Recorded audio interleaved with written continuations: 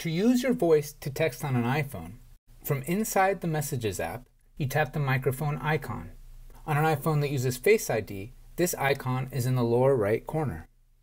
On an iPhone that uses Touch ID, this icon will be to the left of the spacebar. If you don't see a microphone icon, you may need to make sure that dictation is enabled in your phone's settings. After you tap the microphone icon, you can switch back to the keyboard by tapping the icon again. To include punctuation in your text, you say the literal name of the punctuation you want to use.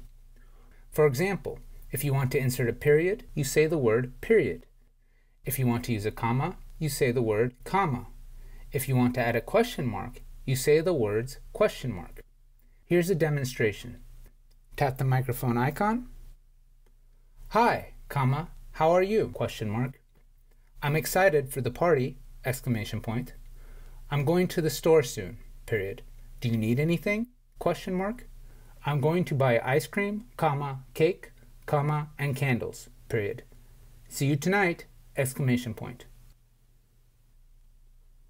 Once you stop dictation, you can edit the message with the keyboard, tap the microphone icon to use your voice again, or if the message looks good, you can press the arrow to the right of the message to send it.